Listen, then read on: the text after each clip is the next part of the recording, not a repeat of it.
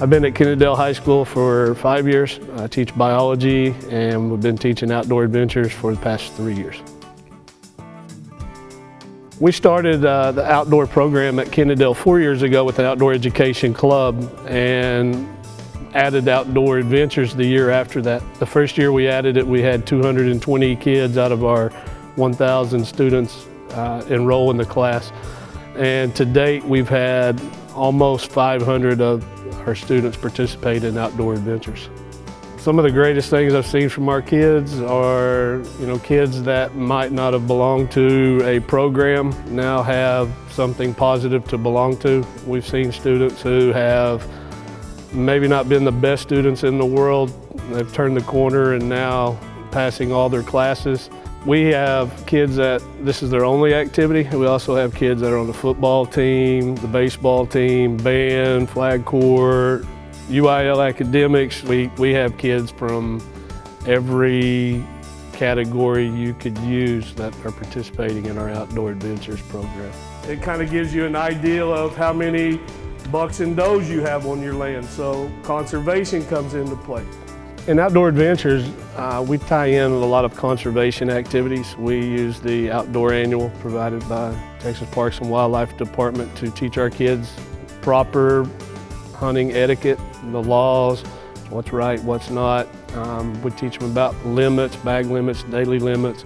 Same thing with all the fishing regulations. It's, it's important that our our younger generation coming up learn to do things the right way so these resources will be there for them whenever they're the parents and grandparents.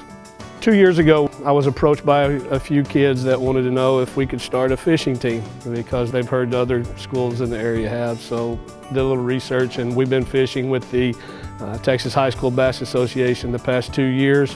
Uh, we actually had one of our teams win the Eagle Mountain tournament last year, which put a little money in their pocket. They got some scholarship money and a couple of neat prizes. And anytime kids can participate in, in activities that they love and, and get some scholarship money too, then that's, that's a great thing for them.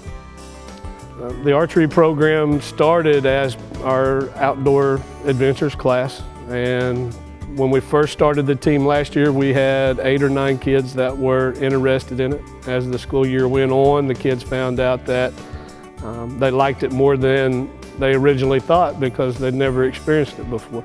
So as the year went on, we were able to fill a full team of 24 by the end of the, the school year.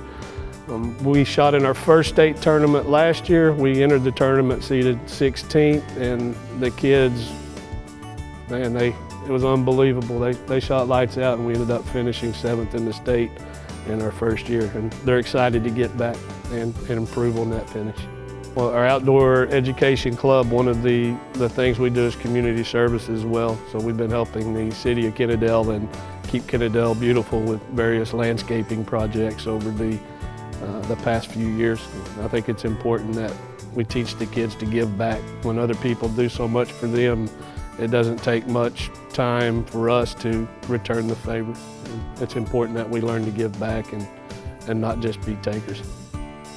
And right now, you know, I'm kind of biased, but I think we may have one of the, the best ones in the state of Texas, and it's due to the outside organizations all chipping in for the common cause. We're, we're providing activities, lifelong activities that kids can do with their families uh, from now on. They're, when they graduate, this is something that, that, that won't graduate. I mean, they, they get to carry this with them the rest of their lives. I'd like to take just a minute to thank the Outdoors Tomorrow Foundation and Dallas Safari Club for this award. Uh, it's very humbling because I'm living my dream job right now. This is, this, this is not work to me. I, I, I come up to school every day and we get to expose kids to lifelong activities they can do with their families. Uh, thank you all for the award and the opportunity to even have this as part of our campus.